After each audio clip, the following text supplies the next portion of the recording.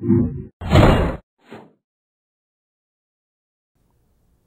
key term in geometry is counterexample. And the way that we define counterexample is an example that makes a definition or conjecture incorrect.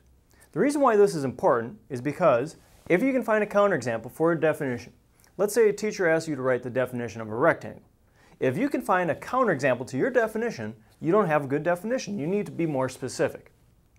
So let's look at a couple examples and see if we can find a counterexample. The opposite of any number is smaller than the original number. So I guess we could say, pick an original number, which I'm going to abbreviate ON, and then we'll have the opposite. So I'm going to write OPP. So let's say our original number was 2. The opposite of 2 is negative 2, in which case the original number is larger than the opposite number. Or the way of stating it here is the opposite is smaller than the original. But is this always true? If I picked an original number that was negative, let's say negative 1, the opposite of negative 1 is positive 1. So I'm going to say that the opposite is 1, in which case the opposite is not smaller than the original, it is larger. So a counterexample to this statement could be negative 1. But any negative number will make this statement not true.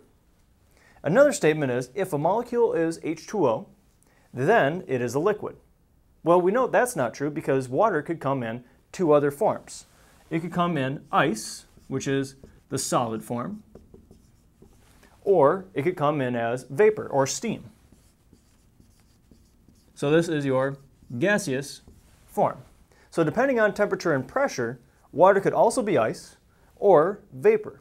So both of these are statements or examples that make this statement incorrect. Let's look at one more.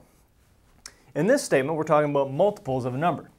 If every multiple of 20 is divisible by 4. So I guess we could think about, well, multiples of 20, we could say 20, 40, 60, 80, and so on. And those three dots mean and so on. Well, 20 is divisible by 4, 40 is divisible by 4, 60 is divisible by 4. You'd get 15 if you divided by 4. And 80 is divisible by 4. And the reason why these are all divisible by 4 is because if we look at 20, if I break it down into its factors, I could write 20 as 4 times 5. So if I multiply 20 by 2, then notice I'm going to have 4 as a factor. If I multiply 20 by 3, then I'm still going to have this 4 as a factor. So no matter what I multiply 20 by, this 4 will be here, which means it will be divisible by 4. There is no counterexample that will make this statement false, which means this statement is always true. So the key to a good counter, to a good definition or conjecture, is making sure that you cannot find a counterexample that makes it false.